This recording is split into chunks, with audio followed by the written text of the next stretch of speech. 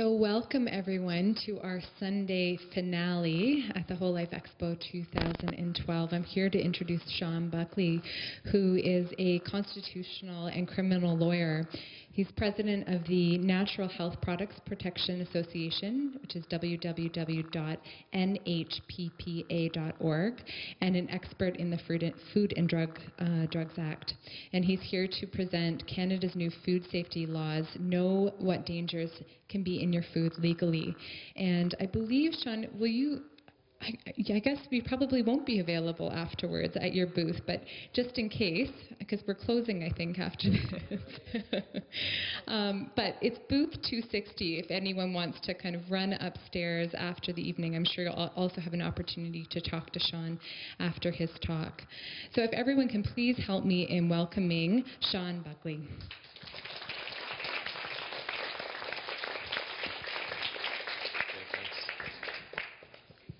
So, first we'll do a sound check. Can you guys hear me? You can? Okay. Because I can't hear myself, so when I like to hear myself talk. I usually start my lectures by asking a question. And today's question, um, when I ask it, I expect that for most of you, an answer will right away pop into your mind. You won't even have to think about it.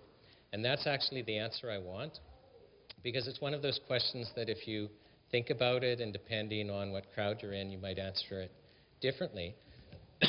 but I'm actually interested in what's in your gut, what's your gut reaction, because that will tell me what, probably what you were taught unless you spent a lot of time to override it. So when I ask the question, it's a yes-no question. If the answer that pops into your mind right away is no, then put up your hand. Okay, so the no, hand up. But if the answer is yes, you know, and I'm talking about the answer that pops into your mind. So if that answer is yes, just do nothing, just sit still. I'm just curious to see. And the answer just simply is do we live in a democracy? Oh, yeah, come on, I want the first. it's okay, but this is still instructive. So even, but even for you, some of you who put your no hand up, you know, I'm sure yes was competing there because we're just so taught from an early age.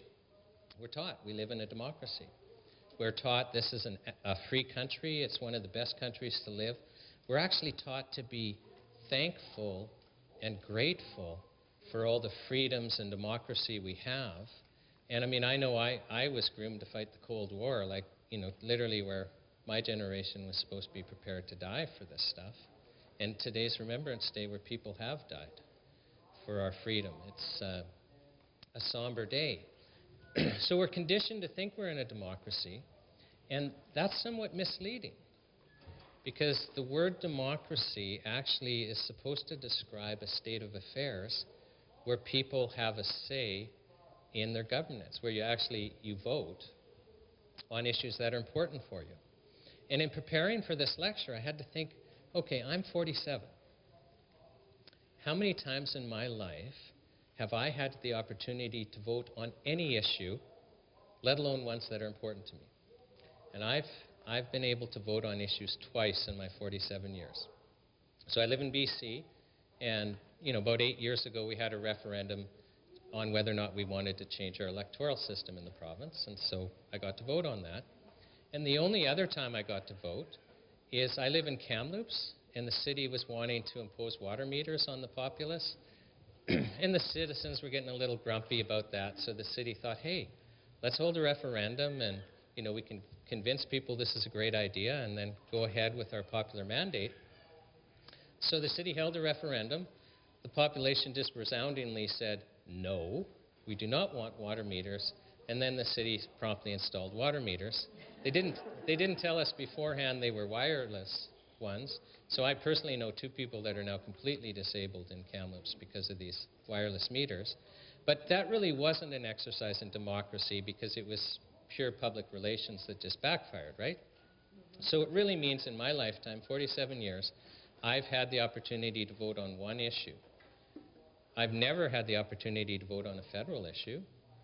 I mean, we could start a war. I'm not going to get the opportunity to vote. And isn't that something citizens should be allowed to vote on? I mean, we in Canada, we send our armed forces to kill people far away without declaring war, and I, I think that's something we should be able to vote on. We'll never be able to vote on our level of taxation or, you know, a hot issue in BC is should we be allowing oil pipelines. We're not allowed to vote on these things. And yet we call ourselves a democracy, and I'm just pointing out that that is a misnomer. We're not, we're not a democracy. We elect every four or five years. I'm, I'll just talk federally now to keep it simple, but we elect every four or five years people who will then get to make the decisions, right? Like in a democracy, the people make the decisions. No, we elect those who will have the power to make decisions. And in theory, they're supposed to represent the interests of those in their riding, right? But isn't the practice that they vote along party lines? I mean, it, it is. Everyone's nodding. It is very exceptional for the party whips to allow MPs to vote their conscience or vote what their constituents say. It's very rare. So we don't even, even that representative, I was going to say democracy, so we're just trained. But really what we have is an elected autocracy. Well, it is. I mean, that would be a better way to describe it. We have an elected autocracy because we have no direct say in our governments. And this is new to some people because most of us aren't exposed to even thinking, wait a second, are we a democracy? Do we have any control over our lives? Because we're taught that we do. We're taught that, we're taught that everything is really, really good in Canada, and uh, we're not. We're not a democracy at all. We have very little say. Now, there is a very positive thing because we've at least inherited parliamentary traditions. And this is important, especially for a populace that doesn't get a say in the passing of laws. So, our parliamentary system, we get notice and we get an opportunity to petition. So, before a law becomes effective in Canada, it's introduced into Parliament. It has to go through three different votes, and this is, these are usually spaced out so people have an opportunity to petition Parliament for changes to the laws that are being introduced. And usually a law will go to a committee with some expertise in the area. So, for example, I'm concerned with the Food and Drug Act. That's my concern. All things being equal, in the normal course of events, if the government wanted to amend the Food and Drug Act, they would introduce a law in Parliament, probably called an Act to Amend the Food and Drug Act, and then it would go through different readings, it would go to the Standing Committee of Health, and we would have an opportunity to petition the government for changes, to have input. And I use the word petition deliberately because I want you to appreciate that in other forms of government, so in totalitarian regimes or monarchies, people petition the government for changes to the law. Is that what, we do any different, if you think about it? No. So I, I don't want you thinking that you're particularly free just because we can petition the government. But it still is a protection for us, and it's really a protection we need to cherish and fight for because it's the only input we have before our elected autocrats impose laws on us. Okay, do you understand that? So if we lose this notice, if we lose the opportunity to have input towards law, then we don't even have, you know, the protections of a parliamentary system, do we? And I bring this up because it just happened. So this Bill C-38, this omnibus budget bill, was passed in very quick fashion. And basically what happened, so it's called the budget bill. Every year the government has to pass a budget to keep spending money. And that's where they will put things in dealing with the tax code and stuff like that. So if the government said we're going to reduce your taxes by 5% this year, it would be in the budget bill. But what the government did with the last budget bill is they included a whole bunch of amendments to acts that had nothing, nothing at all to do with finance. And some of it made the media. I mean, it certainly made the media that the opposition was concerned that Parliament was being undermined. And the changes to some of our environmental laws made the media. But, you know, aside from me as a source, because I've written and I've lectured on this, but I'm not aware of anyone else alerting people to changes in the Food and Drug Act. So aside from me, has anyone heard at all about changes to the Food and Drug Act that took place in this budget bill? No. Now, it, and I'll go through the changes. You're, I'm going to frighten you. It's, it's just scary stuff. Our food safety law has just been absolutely gutted, and it's been done in a way that undermined the single protection we have, which is this parliamentary process. Because it was stuck in this omnibus bill. I printed it off. I forget now, it was over 450 pages long. So I would actually be surprised if your MP read it. I, I would genuinely be surprised if your MP read it. And I would be super surprised if your MP understood it, let alone even just the changes to the food safety laws. And do we have any sort of representative government if our government is voting on laws that they don't even have a clue the ramifications on us? I, I just bring it to your attention because I used to think this only happened in the States where they give the members a phone book and then a short period of time to vote on it and then pass it. And then, like, that just makes a mockery. I was going to again say democracy, but it makes a mockery of even the parliamentary process. And so let's talk about some of these changes. So, um, and I guess before I do that, I need to explain kind of how our food safety laws work in Canada, just so you, you can appreciate the change. So basically, we have an act called the Food and Drug Act, and that act has some real fundamental protections for food safety. So, for example, one thing the act does is it says you can't sell food that's adulterated. So, you can't put non food ingredients in food and sell it to the public. And it, you don't have to think very hard about that one to realize, yeah, that actually keeps us safer. Another part of it, uh, the Food and Drug Act I like, is it prohibits selling food that has a poisonous or harmful substance in it. well, again, pretty no brainer, right? There's no way you'd undermine a protection like that. Uh, one that I like is we all know how the minister they can set standards for food.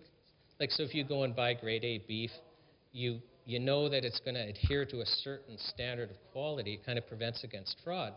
But what most of us don't realize, the minister can also set food standards for safety reasons. There's a part in the act where if the minister determines foods have to adhere to a certain standard to prevent injury or harm to the consumer, the minister can set these standards. So some of our food safety standards are actually set not to prevent fraud, but because the minister determines they're necessary to prevent injury. Now, those are some of the key provisions in the Act. In addition to the Act, there's this whole body of regulation. And the regulations, I, I don't exaggerate, it's about 100 years of kind of acquired wisdom on how to keep food safe. Like we've been managing food safety for over a century, and our current Food and Drug Act, if you were going go back to about the mid 30s, you'd recognize it. Like that's kind of when our current form of the act took place. And what would happen is, is we'd just learn. So, for example, people want to sell orange popsicles. Well, how much dye can you put in a popsicle without having people getting sick or injured? Like, you don't know at first, and, and you learn, and then after you learn, it goes in the regulations. And so when I say, you know, our food safety regulations are about 100 years of accumulated wisdom, it literally is. And, you know, I'm quite happy about our food regulations.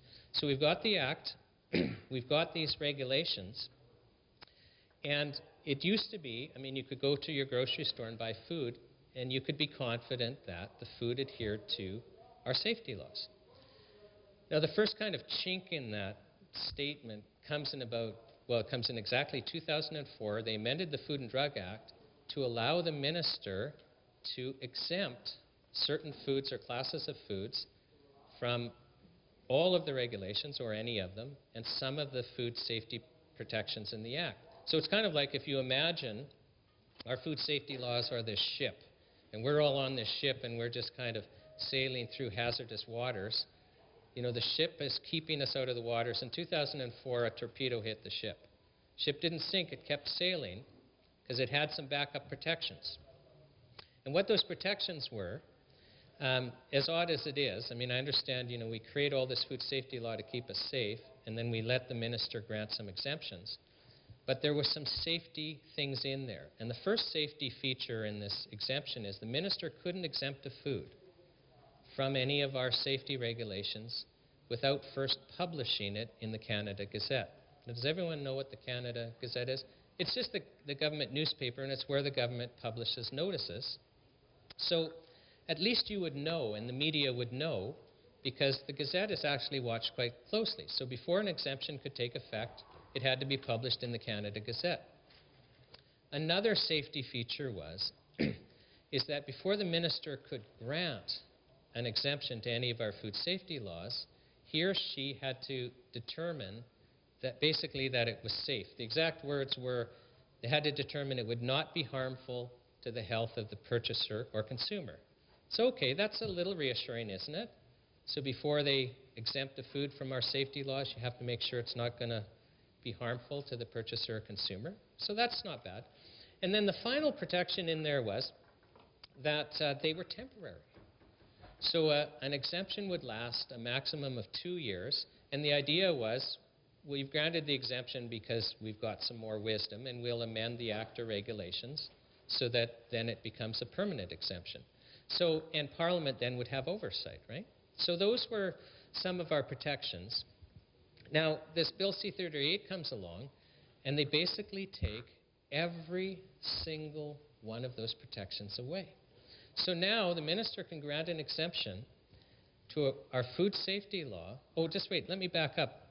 Another protection that I forgot to mention before the changes, where the minister could not allow a poisonous or harmful substance. So it didn't matter. You couldn't exempt a food that would have a poisonous or harmful substance in it, right? Which kind of makes sense. So now Bill C-38 comes along, and now the minister can grant an exemption to our food safety laws without determining that it's safe. Okay, so remember, he had to, before she had to determine it wouldn't be harmful to the purchaser or consumer. That's gone. Now, think about that for a second. How can it possibly be in anyone's interest, I'm talking about the public here, for the minister to exempt a food from our food safety laws without determining that it's safe? Like, can you get a, I'd, I'd love you to ask your MP, say, you know, you voted for this law, and it's basically it allows the minister to grant exemptions to our food safety laws without determining it's safe. Is that okay with you? How's that? You know, like how's that in our interest? The um, the minister can now allow substances that are poisonous or harmful. I need to say that again because it's almost unbelievable, isn't it? Now, I'm not making this up, by the way. I wish I was. The minister can now grant an exemption allowing food that has a substance that's poisonous or harmful. How can an MP vote for that? I mean, it's absolutely crazy. There is no longer any publication requirement. Doesn't need to be published. I'll, I'll get back to that because this gets a little scary for us. The, um, they're permanent. There's no two-year limit anymore. And so there's no need to change the ACTA regulations. So we're now in a situation where we have this actually very good set of food safety laws. The minister can now exempt from any of the regulations. The minister can allow adulteration of foods. The minister can allow poisonous or harmful substances. Remember, I told you about these safety standards, and I, I cannot get my head around this one. You know, because on the one hand, the Act says the minister can only set these safety standards if the minister believes it's necessary to prevent injury and now we allow the minister to exempt foods from these safety standards. Like, how is that possible? And um,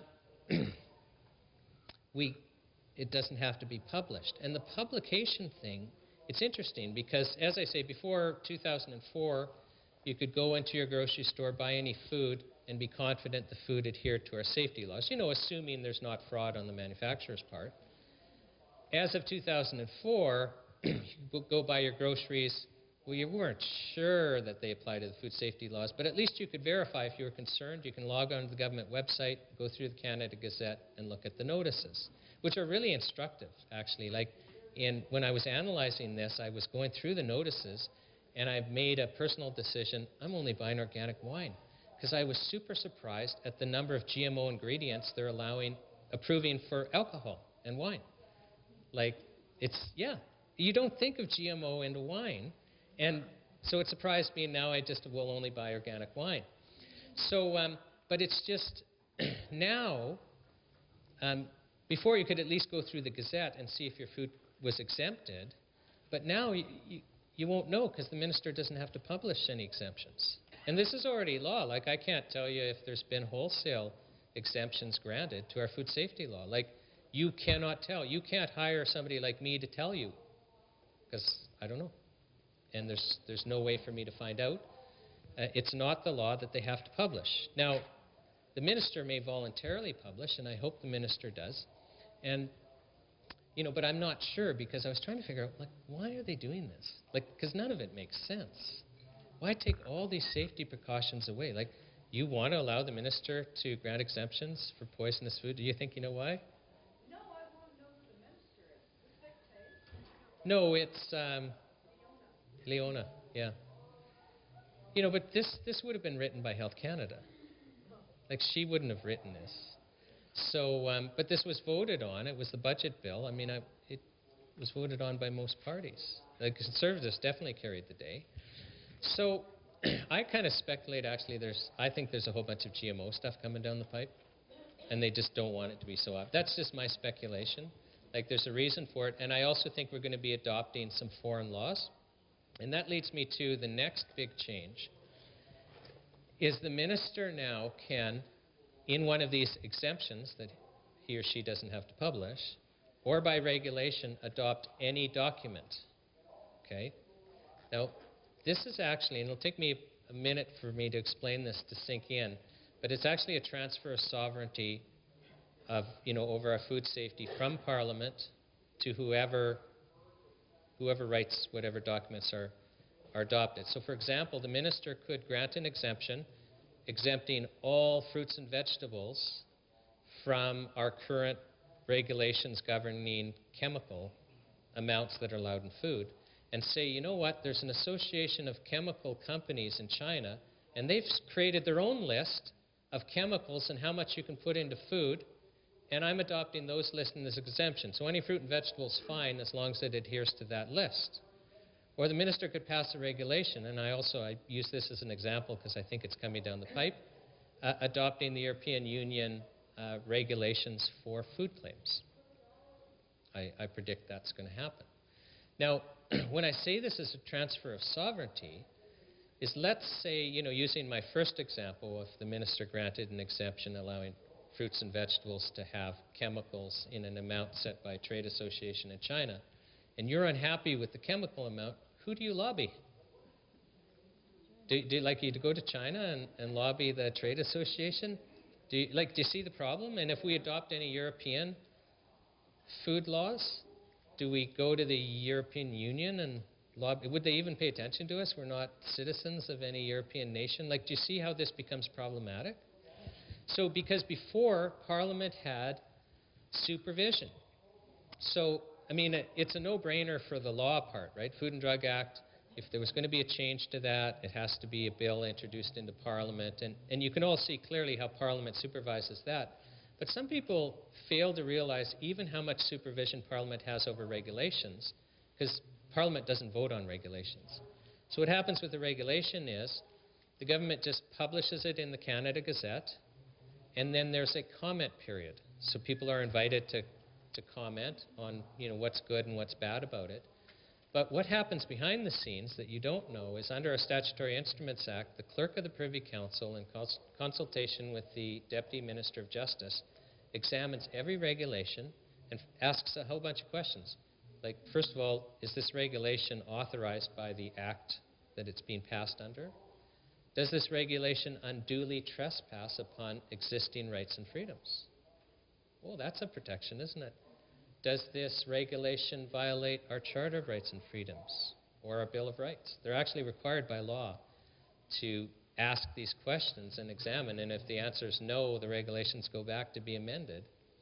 And then the regulations have to be published a second time before they become law.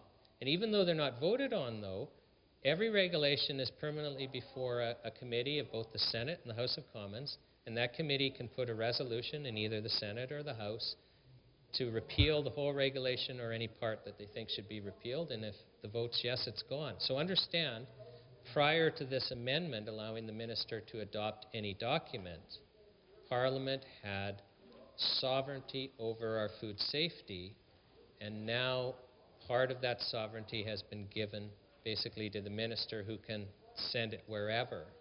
And this is a fundamental change because we kind of have to ask our question okay, we don't live in a democracy, we're in an elected autocracy, but at least our elected representatives are responsible to us every four years. I mean, they do want to get reelected, we have to give them that. So there's that pressure. And through Parliament, they have supervision over our food safety. Why would we give that away? How is that in our interest? Like, is it onerous to pass regulations? Is it onerous to pass laws? No. So I don't know the answer, but something's happening here, and this isn't an accident. Something's coming down the pipe, which is why they, they've passed this law. And now another change is um, to our prescription drug, the way we regulate prescription drugs. So right now, prescription drugs, if the government wants to add a prescription drug or subtract a prescription drug, there's a list, but it's, it's a, they have passed regulations to create this list. So if they want to change to the list, they have to pass a regulation, which, you know, publish, examination by the clerk, comment period, publish again, and Parliament has the right to strike the reg at any time. Now, what the change now is, is the minister can just add or subtract to the prescription drug list without passing a regulation. Now, like I say, passing regulations is not onerous. So why change that? And it's, it's interesting. I'll tell you why I'm concerned in a second. But when it, the law now says the minister can add or subtract to the prescription drug list, that means Health Canada can. Because the minister isn't the expert. It's going to be Health Canada that says add this, add that and it'll be added, and by the time you find out, it's already too late. And it's just interesting because, you know, some prescription drugs are really important. And, but now they could be removed without really any public oversight by our elected representatives. Or drugs that maybe shouldn't be approved because they're dangerous can be added to the list. And it just, understand the reason why we have this regulation process is so that Parliament can supervise the bureaucracy and prevent corruption and can prevent abuse. And why would we give that up?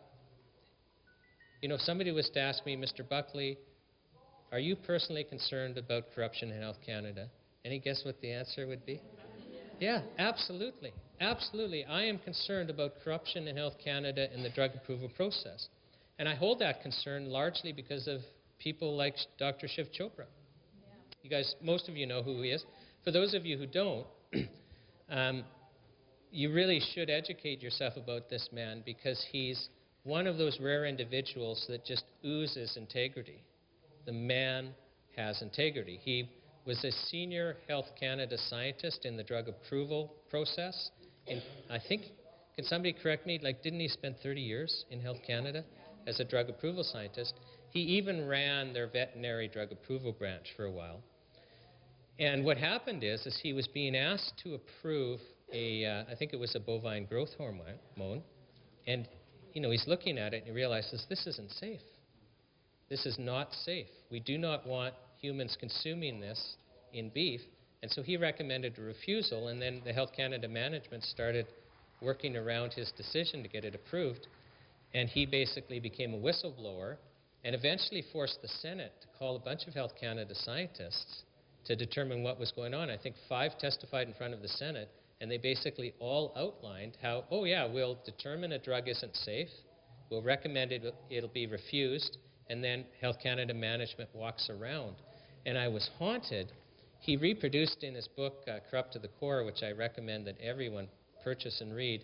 Uh, one of the scientists, Dr. M Margaret Haydon, actually told the CBC after the Senate hearings that, well, yeah, after a while, like, so you're, you're a drug approval scientist at Health Canada, after a while, you get to recognize the pattern that they use to get around your decision. Like, can you imagine that? It happens so frequently that if you're there for a while and you recommend a drug isn't safe, you'll understand how they're going to get around your decision. It's predictable. So I, I do have a worry about our drug approval process, and I don't see how it is at all in our interest that that supervision's been taken away from Parliament, and I, I invite you to ask your MP how this is all of a sudden in our interest. It's not. And it's a transfer of power from Parliament to Health Canada, the bureaucracy.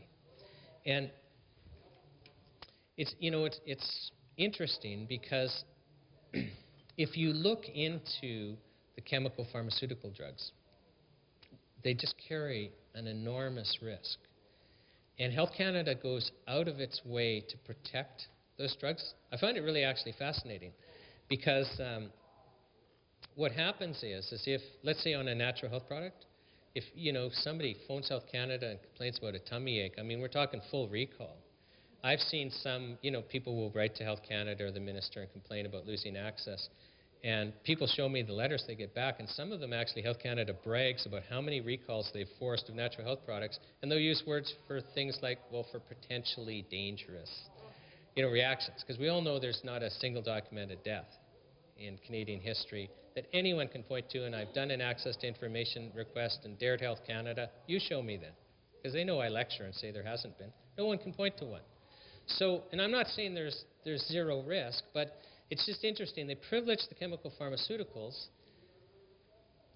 where, you know, they literally, if people are dying, they fight to keep them on the market. And yet natural health products are being taken away. And it's funny, it just seems, um, you know, people are calling and complaining so often about products being taken away that now I, it's kind of like, okay, well, what's, what's kind of the, the treat of the week, you know? And for the last two weeks, it's been nattokinase is being taken off the market. And I, some people are nodding. So um, for those of you, I'm not a, a doctor or a naturopathic doctor. I'm, I don't have expertise in, in nattokinase. But, you know, in looking at it, it's used widely as a blood thinner, very safely. It, but it's used for a lot of other things, pain management, fibromyalgia, dissolving clots, uterine, fibroids, things like that. Like it's widely used, and I had to make inquiries because a client was being asked to recall, because what happened was Health Canada just contacted everyone who had a license application in for nattokinase saying we're not going to approve your license, so it's illegal, full stop, and recall. Not stop selling, you recall right away. Unfortunately, some of the manufacturers have not recalled. They're allowing people more time to access it before they can switch to other things. So, um, but it's just fascinating because, you know, I'm having breakfast this morning, I won't mention the guy's name, and he's saying, oh, did you see the story in the, the New York Times about this new um, blood thinning drug that when people show up at the hospital and they're dying, they have no way of stopping it. There's, the hospitals are helpless and the people die. What's that? Okay. So I, I'd forgotten the name actually of the drug. Thank you. So it's just, I thought, isn't that ironic, right? Like, so here hospitals are currently experiencing problem with an approved chemical pharmaceutical drug for blood thinning where they can't keep you alive if you're dying from the drug, and yet we're taking nattokinase, and I searched the Health Canada adverse reaction database for nattokinase. There has not been a single complaint, ever. Not even my tummy hurts. There hasn't been a single report. And yet they're removing nattokinase from the market. And actually, uh, that's created a situation where we, we need to start educating ourselves. Well, how do we get stuff like this? Okay, I mean, nattokinase is pretty significant. Another one that, that's very troubling, about six weeks ago, I was writing an article on just my concerns on losing access, and I called practitioners, well, what's the flavor this week? And it was desiccated thyroid. Because they, yeah, oh, it was a whole, yeah, okay, so this audience appreciates the value of desiccated thyroid. I mean, we have thyroid problems writ large, no small measure because of all the fluoride that we have in our, our water that destroys thyroids. And a lot of people just cannot manage on the approved chemical pharmaceuticals. Medical doctors use desiccated thyroid. I mean, Dr. Mark Starr wrote a whole book on you know, why desiccated thyroid is, is the treatment of choice. And they're complaining because people need access to desiccated thyroid and they don't have access. And so I think we need to talk about well, what do you do when Health Canada removes something? And there's kind of two categories. Like things like nattokinase are non prescription. Things like desiccated thyroid, actually, it's on the prescription drug list. And so different rules apply here. So, first of all, for things like nattokinase that are not prescription drugs, the irony is, even though it's illegal for your health food store to sell it, and it's illegal for you know a manufacturer to manufacture and sell to the health food store, it's not illegal for you to buy it. It's not an illegal substance. The police, if they pull you over, they, they won't do anything. Health Canada, if they found out you have it in your home, they won't do anything. It's perfectly legal for you to own because our Food and Drug Act actually only governs commercial transactions. Okay? So for something like nattokinase, you can import it for personal use. Go to the Health Canada site and in their search thing, type personal importation, you'll get their guidance document. And I, I'll tell you basically, if they adhere to the law, which is a big if because there are problems at the border I hear about all the time, but if they adhere to the law, they should let your shipment in if it's only a 90 day supply, so no more than that. It can be less, but it can't be more than a three month supply. so listen carefully. If you're trying to save shipment costs by having it shipped for several people, make sure that the shipper puts the name of everyone on the shipping manifest that it's for. Because the Health Canada inspector will do the math. Oh, a bottle says take two a day. It's got 80 bottles. How much month supply? Okay? So as long as it's no more than a three month supply, they're okay. It has to be coming to a residential address. If it's being shipped to a health food store, they're going to say this is commercial, okay? And so even if your business isn't a health food store, don't have it sent to your business. BHA, um, like HCL, um, I don't know if they spoke, if you know anything about that, but they're trying to get that out of Canada. So like Ultrajet from Dr. Oh, okay, Dr. Rowland's product, which is one of his key products. Yeah, and I've heard nothing but good things. I've actually personally taken that product. It's a super product.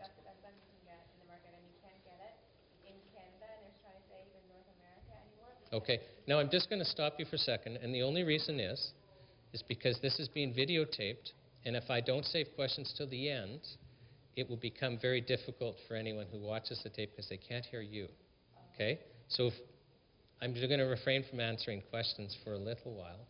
But back to how you can import. So not to your home address, and then it needs to be in its original packaging. I mean, if they, they see a box full of pills, they're, they're going to think you're going to put it in a bottle or something, okay? So personal importation, educate yourself about that. There's also a loophole. And so any practitioners in here, I want you to listen carefully.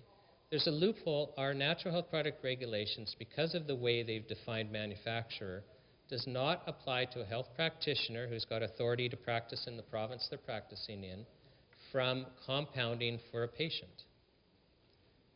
Now, I mean, the traditional Chinese practitioners do this all the time because it's just the way they, they were taught. You go in there, you get assessed, and they'll put the herbs together for you right there and send you on your way. On something like nattokinase, a naturopathic doctor, TCM, medical doctor can compound or send you to a compound pharmacist, you know, with their written instructions to have it compounded. Health Canada won't touch it. And again, there's a guidance document. Go to Health Canada website if you're a practitioner or a pharmacist. Type in individual compounding, you'll find it. Or just go to the NHP part and, and find it. But it's just, I'm thinking that because people's health are suffering, like there's a risk of losing stuff like this, that, you know, the citizens kind of have to adjust to what they're doing. And then the third thing you can do, frankly, is smuggle. You know, well, I have. Most of you have. And, you know, really, is it ethically wrong when the government is taking away something that you actually need for your health? I mean, I'll just leave that as a rhetorical question. But I, I certainly, the only thing I'm worried about is being caught. I, I have, don't wake up in the middle of the night going, oh, you broke the law, you know? Because I don't respect the law. I just, I simply don't. So, because this is a freedom issue. This is a freedom issue. Do you, you have to understand that the government has taken the position, they took it about eight years ago, that you do not have the right to take anything that they don't approve of. So if Big Brother doesn't approve of it, you do not have the right to take it, which is very challenging. I mean, it's interesting. Um, almost everywhere I go, well, in fact, it's 100%. And it, it'll happen today. Somebody will come up to me and say, you know, I have this condition. And oh my gosh, I was suffering. And I took this chemical pharmaceutical and that and blah, blah, blah. And either it didn't work or the side effects were more than I could tolerate. Like I just, I couldn't take the drug. And so I'm like suffering. I don't know what to do. I come across a natural product. and it worked. And we are losing, we will lose about three quarters of the products we had access to before. So what's happened is, prior to 2004, natural health products, for all intensive purposes, were not regulated. We only had the chemical drug regs. Very few had drug identification numbers under the old system. So literally, if you walked into a health food store prior to 2004, for all intensive purposes, all of the products were technically illegal. Did you feel unsafe? No, no, you don't. I phoned uh, six weeks ago a gentleman who, in a different province, has a chain of health food stores, very successful, and I just said, hey, today, in your store, how many of the products are illegal? Uh, he kind of thought about it, and he says, probably still 50%. now, some health food stores will not sell any illegal products. They're out there. Like I know of some stores, if it doesn't have a license, they won't sell it. But a lot of stores are still like my friends, where they're basically bringing stuff in because people need it. And he knows he's, you know, he could be raided and charged. But it's an ethical thing for him because he also knows that the people need the stuff. So, but from a freedom perspective, isn't it challenging? So, for these people who the only thing that works is a natural product, and then you're told you can't have, a, you're an educated adult, you've been, you know of the risks, you cannot make a decision, according to Big Brother, to take a product. And that is a freedom issue, and it's very, very challenging. Now, I want to encourage people. Do you mind if I go just a little longer? We're okay. So, because they only give me 45 minutes, and usually, usually I get an hour. So I just, I've been fretting for a week. So thank you. Um, we really need to start taking action. How many of you know about the Charter of Health Freedom? I'm just curious. Okay, not enough. It should be every hand. There's a website, Charter of Health Freedom. If you just Google Charter of Health Freedom, you will find the website. The charter, um, this is now, is Julia here? I, am trying to figure out how many years ago did the charter come into being? It's been like four or five years ago. A bunch of groups got together from across Canada, so practitioners, consumers, um, obviously the NHPPA was involved, had some conferences, and the question was asked, what do we do? Because we're always just reacting, right? We've got these regulations, we're losing products, Health Canada is being unfair. They're not taking into account the health consequences of taking products away. what do we do? Because we're always being reactive, not proactive. And the solution was saying, look, you know, we basically need the equivalent of a Bill of Rights for access to therapeutic products, be they chemical, be they natural. Charter of Health Freedom has nothing to do with natural health products, it applies to everything. And it basically is a law that we want to have enacted which protects people's right to choose to access a, pro- you know, a product that they need. So actually, ironically, it gives the government more teeth now to you know, make sure that only safe things are out there than they currently have. But they can't take away a product if taking it away is going to cause more harm than leaving it on the market. Which think about that for a second. I, I mean, that's super important because this is apparently all for our safety, right? And remember, I've told you I can't point to a single product, a single death in Canadian history caused by a natural health product. But you know, if I had time to tell you about True Hope, and some of you are aware of True Hope and Empower Plus, like they took that product away for about a year, as best they could. Like there were smuggling rings all across Canada, but some people ran out. And actually, it was the Canadian Mental Health Association, their Alberta branch president, Ron Lajeunesse, started holding press conferences blaming Health Canada for the suicides. And I, I've called him as a witness and seen him testify under oath. He's a heavy hitter in the mental health field. The province of Alberta had him design their mental health programs and run them. He's not a small fish. And for him to publicly hold press conferences blaming Health Canada for suicides, you better believe there were suicides. So I just use that as an example of a single product restricted for a short time. It's freely available now. It even has a license of all things. But it was restricted for a short period of time, and there were, I believe there were deaths. In my opinion, there were deaths. So, you know, in nattokinase, I think there could be deaths over this one. In fact, I think there will be deaths over it. We're talking life and death, losing access to these products, and something needs to be done. So that under the Charter of Health Freedom, if it was enacted, they couldn't do that. They'd have to do a balanced risk analysis. Okay, we've identified this risk. But if we take the product off the market, are we going to cause more harm than leaving it on the market and managing it in other ways, such as label warnings or educations, or only having you know it under healthcare practitioners? There's different ways of managing risk, but they're they're not fair. So we need something like the Charter of Health Freedom. I could go on for an hour. Like the Charter of Health Freedom, one thing that we learned from the uh, eMpower Plus fiasco is Health Canada ignores your pleas when you call them. So they're restricting eMpower Plus. eMpower Plus is used to manage people with severe bipolar disorder. Generally, at that time, the only people taking it were those people that would trash psych wards and were getting no relief from the chemical pharmaceuticals. There was about a thousand Canadians on it. There were so many people phoning Health Canada begging for their lives. Like the doctors would phone, psychiatrists would call, family members, they would call. There were so many people. We know now from internal Health Canada emails we got through an access to information request that they set up a, a crisis line. It, it sounded good to the public. They do this public announcement, this notice. Oh, we've set up this 1-800 crisis line to help people, you know, with the transition away from eMpower Plus. So they made it sound like it was for your benefit, but reality, they couldn't function. They were getting so many calls. So if you phoned and said eMpower Plus or TrueHope, they would hit a button and without your consent transfer you to this line. And we also have the instructions the people were given on the other end of the line, and basically to say it's not authorized, go back to your doctor. But these people made a mistake. They took notes. And there's about 800 pages of notes of people begging for their lives. And I'm not kidding. Health Canada summarized to, you know, the higher ups. There's a, and they, they've agreed to me in cross-examination there was a consistent theme of suicides. Like it's right in the notes. What are you going to do when I commit suicide? And we know some of the people did. Like, but they're begging for their lives.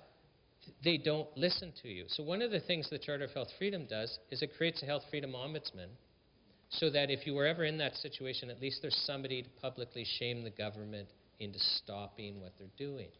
See, we need a whole bunch of protections. Like I said, I could just go on about the charter, but you know, next time I lecture in front of you and I say, "Who's heard of the charter?" I want every hand to go up. The charter on the charter website, there are also petitions you can download and have people fill out and then mail them to the address on the bottom. I forget. I think we have about 85,000 signatures now. It's just growing and growing, and we want we want it basically it to become the largest petition in Canadian history. So educate yourself about the Charter. And I also, you need to support groups. If you're a professional, a practitioner, um, you know, some of the groups out there just simply aren't doing enough. Get involved in your group and get them to get active about this because it actually, there's health consequences. And I certainly invite you, invite you to support groups like the one I'm involved with, the Natural Health Product Protection Association. Like we had to like do a call just so that even my travel out here could be covered. This stuff costs, right? You know, to lecture, to publish, to all of this stuff, it costs. And you know, we have to we have to have staff and things like that, and we're cash starved. So whether it's our group or another group, you know, it's one thing to say, yeah, I support health freedom, but I'm not going to financially support any groups that I actually think are trying to do a good job. It just doesn't work because they're just going to disappear, and they're not going to be effective. So I implore you, if you actually care about this stuff, especially if you're a practitioner, pick a group that you can get behind and support them monthly. Not a, oh, I send 100 bucks six months ago, I'm fine. You send 100 bucks a month. Like, support them monthly so they can actually know what their income is and plan and do things. Right? It just make, and then get involved. I definitely want everyone to log on to the NHPPA site. I know that's a mouthful. Just NHP for Natural Health Products, and then Protection Association. So it's, you know, and we're .org, but if you just Google NHPPA, you'll find us. And there's a, a subscribe button where, you know, if you click it, we're going to ask for your email address. we need, when things happen, to be able to alert people, A, that they're happening, and sometimes to ask you to take action. Like an example that comes to mind is, is um, a couple of years ago when the Consumer Product Safety Act, their second try at passing it, it had got through the House of Commons and it was in the Senate, and uh, some people were wanting me to go and testify in front of the Senate, and the Senate was saying no. We sent out an alert to, to the different, you know, to people on our list saying pressure the Senate, and like there were calls and letters, and oh, voila, they called, and then they amended it and sent it back to the House, and we prevented it for a year. It, it died in the House.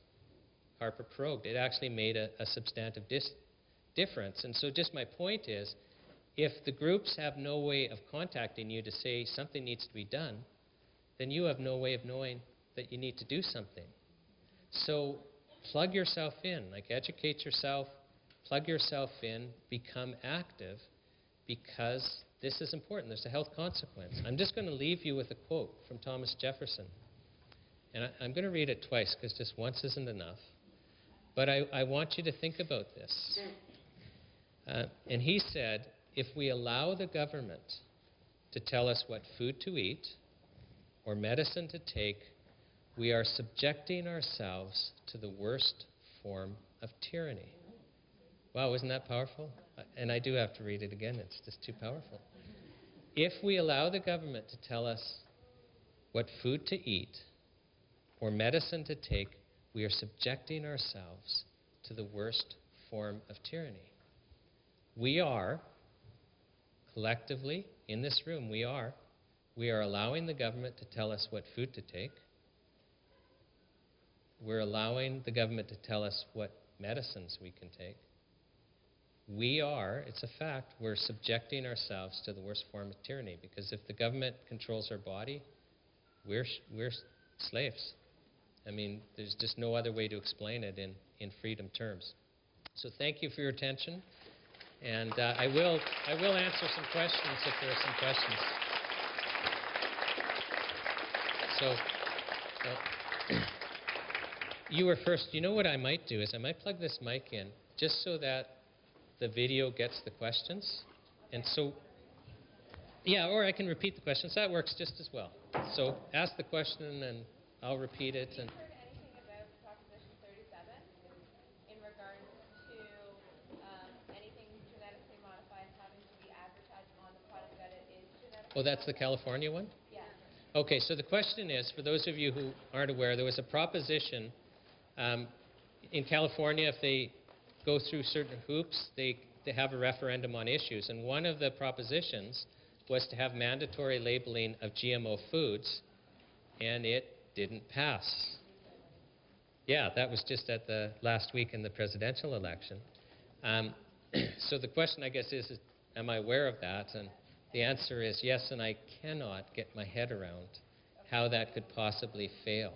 Yeah, that's what I was going to ask you, is if you had any idea as to, like, No, I have only heard speculation, and and there was a ton of support with that one as well, and it's still, but nobody is talking about why or next step as to try to go into the act. yeah, and it and it's a real loss because the hope was California is such a big market that if California had required mandatory GMO labeling, that basically the big food companies would have to stop processing food with GMO.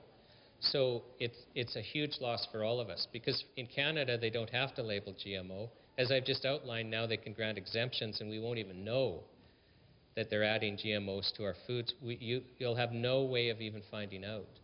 And, you know, I know I've listened to Michael Smith, it's Smith, the GMO expert, great guy. And you can go on to his, it's Citizens for Safe Technology is his site, and he lists the foods that are GMO. And I really recommend that people educate themselves because at least if, you know, if a, enough of us stop buying GMO foods, it may have a difference. Now, you had a question? Monsanto was putting a million dollars a day into suppressing that being passed in California. Okay, and I'll just repeat what she said. She said Mo- Monsanto was spending a million dollars a day to stop that from passing. So, I do know there was also a thing, like, I don't know if you've noticed it, that there was a, ar- a few articles coming out that, um, organic and commercial, like regular food, are the same, that there's no benefit to the organic product. So I know a lot of my clients came to me and they're like, pretty much, are you a quack? Because look what's coming out on global news. And then if I looked into it, and the researchers that did the research were Monsanto's researchers, and they were also funded by Monsanto to do the research. And I'm sure they were perfectly objective, right? well, I know it's just it's scary. Like, you know, it's so interesting because they're so anal retentive about anything on natural health products. You got to list this and that and test this and that. They've done no safety testing on GMOs, and even to resist labeling, I just I can't get my head around it. So I'll, I'll take your question and then I'll take yours. Um, I actually read the same article.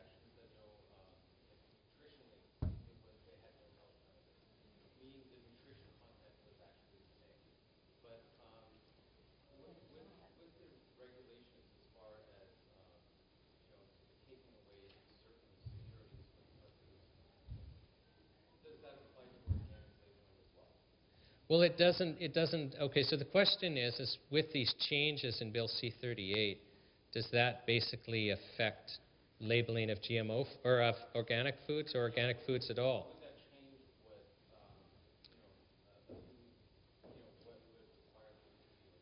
Oh, you know, that is a really good question because, you know, the organic thing is certified by other groups, not Health Canada. So it really shouldn't. It's a different issue whether Health Canada would allow that claim meeting different criteria, which I guess they could. I mean, they, they could under the old law. I don't think that's what it's directed at. I mean, I, I really think it's probably to be allowing more GMO ingredients.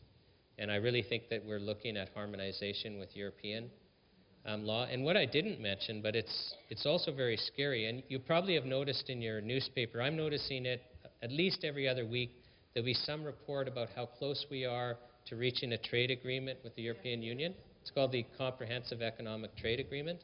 But nobody is given the text that they're negotiating on.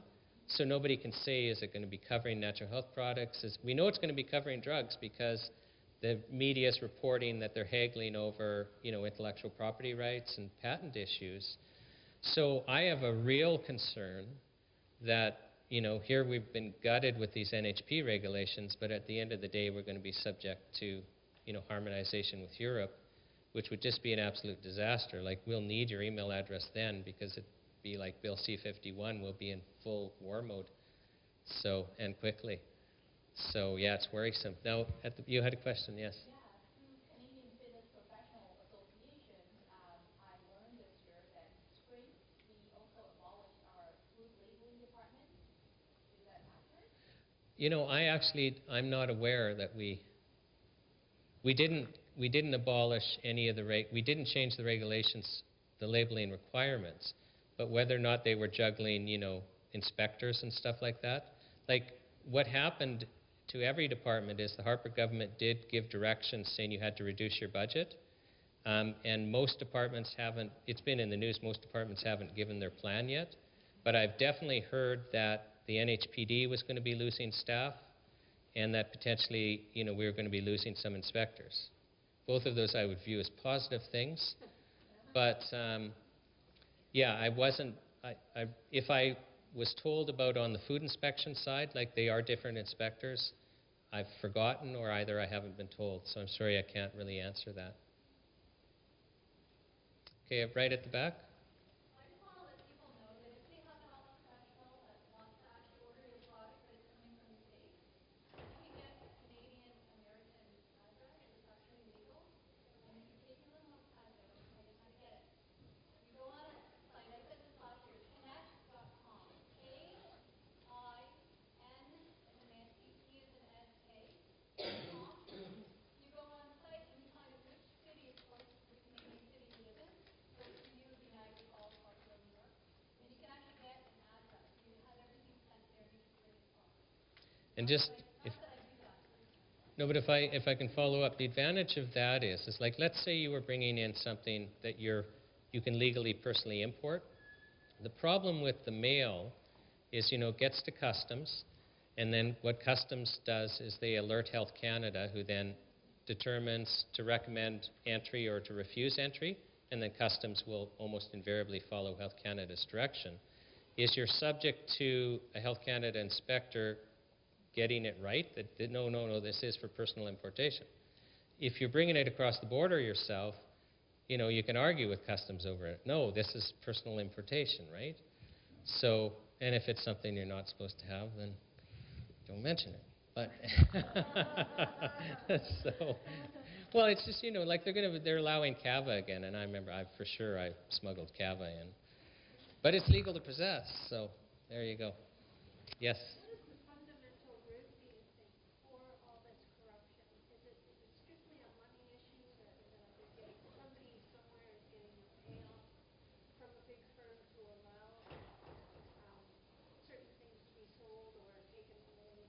You know what I'm trying to say is, for example, Monsanto is so powerful, and maybe some other companies out there are incredibly powerful, so somebody's getting, you know, government could actually maybe receive money to keep things on the shelf.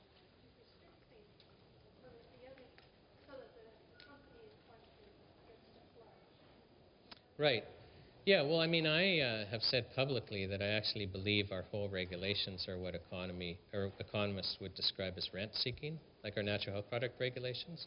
So, because you think about it, the regulations came about in the you know early and mid 90s. Health Canada started attacking natural health products with the drug regulations, which you really couldn't comply with, and people were becoming so alarmed that there really was a citizen rebellion, like it's funny, this lady here, I, you know, before the lecture started, we looked at the size of the room and she says, you know, back in the mid 90s, there would be a thousand people here. It's true. Like, the consumer was very alive, and, um, and the consumer pressure basically forced the government to say, okay, we're going to look at how should we regulate natural health products. The Standing Committee of Health looked at it and came out with their famous 53 recommendations.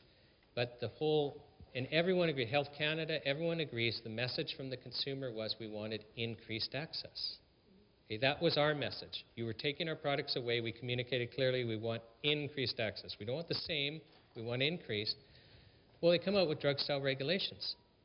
so, I mean, in the United States, the same products are perfectly legal and they don't have to get licensed. And that's the problem with our new regulations is basically every product is deemed illegal. That's the, the default position. Everything's illegal, and only those products that can get a license will be allowed to remain on the market. And we're still in this transition process, um, trying to get through the licensing process. And it sounds great on paper. In fact, I've had skeptics interrupt lectures and then ask questions. You know, surely, you know, we should not allow Canadians to have, have access to products that are not proven safe and are not proven effective. And it, it, it sells well in the media, and people like that. But the flip side is, is okay, but if you're going to impose that, we're going to lose a whole bunch of products, including ones that people rely on for their lives. And if you did a, an honest risk analysis, you would conclude there's more harm in removing products. I mean, is everyone familiar with Professor Ron Law? He's a risk analysis expert in New Zealand. And I actually met him in Toronto at a a conference we were both speaking on on natural health products. And a client of mine hired him using Canadian government statistics to basically determine, well, what are the risks caused by natural health products compared to other things? Because risk is relative, right? If somebody says, oh, this is dangerous, well, that's dangerous compared to what? And I still laugh at the risk analysis because according to Canadian government statistics, as a Canadian, okay? It's important as a Canadian, not as a member of any other country. As a Canadian, you are dramatically more likely to be bitten by a shark than to be harmed, not killed, but to be harmed by a natural health product. Okay? Now, I'm sorry I mentioned sharks because I know Canadians are really worried about being bitten by sharks because it happens so often. I mean, funnily, funnily, it, it actually it does happen now and again because so many of us travel. The odd one gets bitten by a shark, but it's just it's not something we're losing sleep over because it is just such a remote risk, and you're way more likely to be struck by lightning than harmed by a natural health product. It's just from a risk analysis scale, there's hardly any risk at all. So why are we trying to prove it's safe? Like my favorite example was Nature Sunshine tried to get a license for parsley that's put in a capsule. Now, they finally did it, but the first time they failed because they could not prove to Health Canada that parsley was safe. But you know, you can feel their pain because if you and I were submitting a license application for parsley, could we find any clinical trials showing parsley was safe? I mean, they want scientific evidence. Well, no, it turns out people have not done clinical trials showing that parsley is safe. So, how are you going to prove it? I mean, it's just, it's ridiculous, isn't it? So it's just absolutely ridiculous. I'm sure there was a question over here. Um, do you have another question? Um, is trying to regulate, regulate supplementation. So do you think that that will happen? And if it does, what would happen to our supplements and healthcare products? Okay, and I'd actually realized then I didn't finish your question. I got off on a tangent. So, because I, I was saying I, what I think is happening here is rent seeking. So, my whole point was Canadians asked for greater access and then we get drug style regulations that you don't have to be a rocket scientist. Just wait, if every product's deemed illegal and only those that can jump through certain hoops can remain, we're going to lose access, right? So we got regulations that are the exact opposite. And manufacturers and distributors will tell you that the requirements are just overkill. They increase your costs and they're, you know, repetitive and you have to hire more staff to comply and all of this. And so what happens is, is it drives smaller manufacturers and medium-sized manufacturers out of business and leaves the big guys standing. And so there's actually, let me find, there's a, a research piece was done when the regulations were being phased in, where small firms were asked, do you support the regulations? Medium-sized firms, do you support the regulations? And big firms were asked, do you support the regulations? And I, somewhere in here I, I'll- I have a quote, but basically it's to the effect, you know, a big firm was quoted as saying, well, you know, it's going to drive our competition out of business, so quit slow bleeding us. Let's do this quickly, right? So, uh, yeah, I mean, think about it. If you and I were um, directors of a big company and our analysis showed, yeah, this is going to be painful and it's going to increase our costs, but it's going to get rid of half of our competition, and then our sales will go up, we would actually be ethically bound by our shareholders. We'd have a fiduciary duty to them to support the regulations. A legal fiduciary duty to support the regulations because it was going to increase value for our shareholders. That's scary, isn't it? Like, because we're so money oriented, we're not taking a step back and going, wait a second, ethically, people are going to die and people are going to suffer, and we need to, like, our whole society's screwed up right now. It, it just, it is. Like, we're not taught to be ethical. We're not taught to actually consider what our actions are on other people, and we're just so driven by greed and the dollar right now. It's disquieting. I mean, people are starting to wake up, and I think in the next couple of years it will be a different culture, but that is a different lecture. okay, so I'll, I'll take one more question, and then it, it's late, and we'll go. So, yes. Um, I recall listening to you speak earlier, um, I guess the angst and frustration I experienced when talking to our local MP regarding Bill C-36. Okay, the Consumer Product Safety Act. And she said something to the effect of, don't you understand the government's mandate and right and duty to protect its citizens from quacks mixing up elixirs in their basement and marketing it to the unsuspecting public? And then she said, have you read the bill word for word? We are doing the right thing. We're not doing anything wrong or underhanded. You read the bill, come back and we'll discuss it. She said that to you. Yeah, and I desperately wished I could teleport you in, strap her to a chair, impart the eloquence and wisdom you possess, and get it into her head. Yeah, it, it's funny. Lack that, and I wish you were there. You know, we're, we're supposed to be civil. I was lecturing uh, in Aurora. I think this was last year or the year before, and, uh, you know, this, the local MP was there. Yes, Lois. And based, no, no, it was a, so it mustn't be the local MP, but it was a guy. And he was saying, oh yeah, you know, we need, we need this for safety. Yes, and- speaking of Frank Klees's MPP. Okay, it was all I could do not to hit him. I know, I, I really, I, I just thought this would just be easier. so, because there's just, they have no conception, and there's just, you know, I don't care what the reason for enslaving us that you give us. You're enslaving us. And, you know, if you ask your MP, was there been a risk analysis from Health Canada showing to justify removal of these products? Has there been a risk analysis showing the danger of removing the products? No. I've asked. I've asked uh, access to information requests. They don't exist. This is all being done, I think, because big companies have pressured the government to impose this rent rent seeking. That's all it is. Like, how can you say, oh, yeah, we need to make it illegal for Canadian stores to sell stuff like Nattokinase when Canadians can still buy it? If it was a safety issue, you would ban us from buying it. Wouldn't you? So, yeah, it just it makes no sense. I really thank you for coming, and I really thank you for listening just because I'm passionate about waking people up, because this is so serious. Like when I say it's an ethical issue, I'm just so not kidding. And I'm starting to feel like I've gotten, I've probably been asked a hundred times at the show, you know, are we making any progress? Right? Because sometimes, you know, I feel like I'm just hitting my head against the wall, and I've said publicly for years, it's got to get worse before it gets better. And, and I think it actually needs to get a lot worse before it gets better. So it's going to get worse, but as it gets worse, like understand that's part of our healing process because until it gets bad enough that people can't deny it, once once it gets to that point, we'll change it. Like people people will Canadians will not stand for slavery. So we will change it, but it is going to get worse first, so please don't get discouraged or anything. It just it has to. That's the process. So because en- enough have to wake up and they they're in denial right now. But it will happen.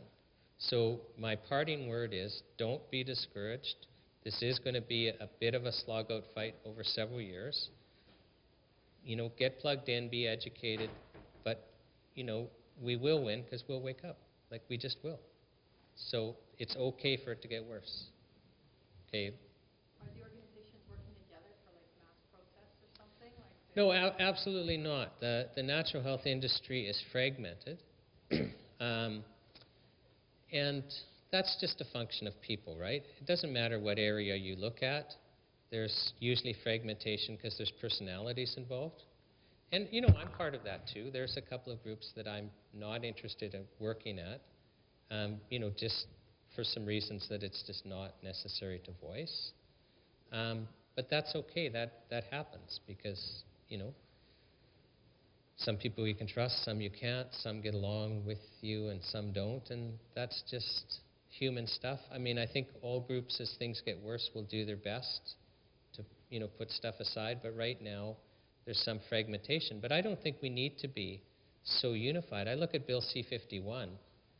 Everyone did their own thing, but so many people did it that we stopped it, right? So, I mean, I think it'll be the same as the 90s, is people draw closer and closer together the worse it gets.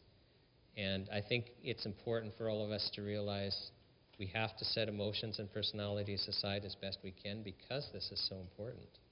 So, yeah, that was a very good question. Okay, thanks again. Thank.